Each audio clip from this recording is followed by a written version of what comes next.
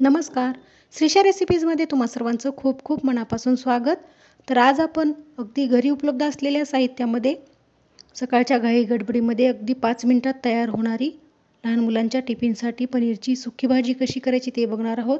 ही एकदम पटकन तयार होते तितकीच ती खाण्यासाठी खूप टेस्टी आणि खमंग लागते तर तुम्ही एक वेळेस करून पहा.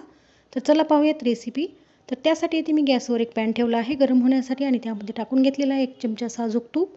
त्याचसोबत येथे मी टाकून घेणार आहे एक चमचा तेल. तर इथे मी एक चमचा साजूक तूप आणि एक चमचा तेल वापरून ही भाजी बनवणार आहे. तर याऐवजी तुम्ही पूर्णपणे तूप किंवा पूर्णपणे तेल वापरून देखील ही भाजी बनवू शकता. तर तेल छान गरम झाल्यानंतर यामध्ये टाकून घ्यायचं आहे एक चमचा जिरे.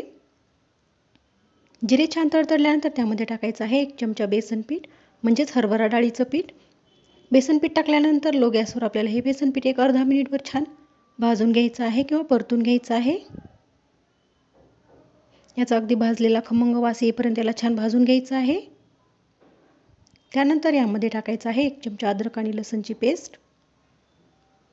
अद्रक लसणची पेस्ट टाकल्यानंतर त्यालाही आपल्याला एक अर्धा मिनिटभर छान परतून घ्यायचं आहे.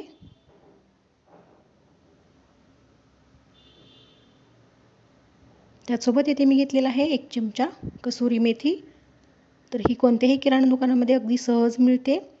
तर कसुरी मेथी जर तुमच्याकडे नसेल तर याऐवजी तुम्ही तुम्ही येथे एक चमचा धने पावडर देखील वापरू शकता. त्यामुळे ही भाजी छान खमंग होते.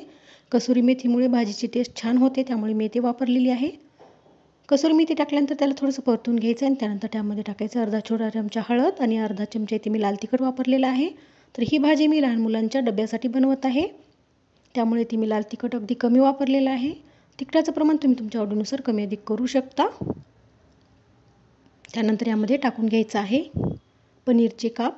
तर हे पनीर मी घरीच बनवलेलं आहे. तर पनीर कसं बनवायचं याचा व्हिडिओ मी चॅनलवर आहे किंवा पनीरच्या बऱ्याच रेसिपीज मी चॅनलवर अपलोड केल्या आहेत.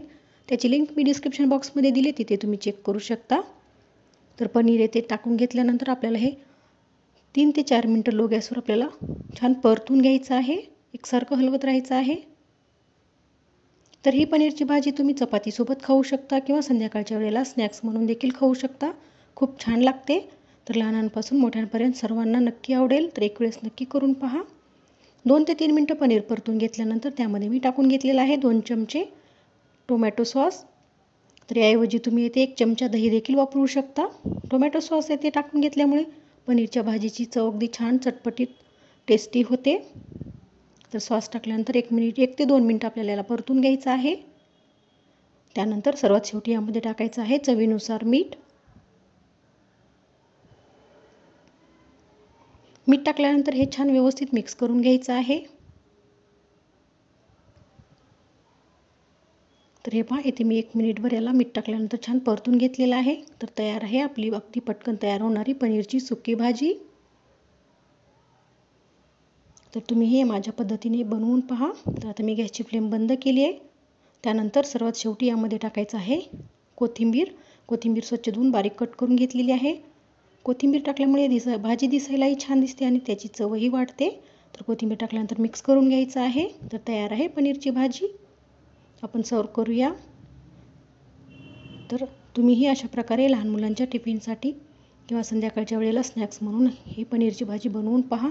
खूप छान लागते. व्हिडिओ आवडला तर व्हिडिओ लाईक करा शेअर करा आणि चॅनलवर नवीन असेल तर सबस्क्राईब करायला विसरू नका. पुन्हा भेटूयात अशाच एका नवीन रेसिपीसह तोपर्यंत धन्यवाद.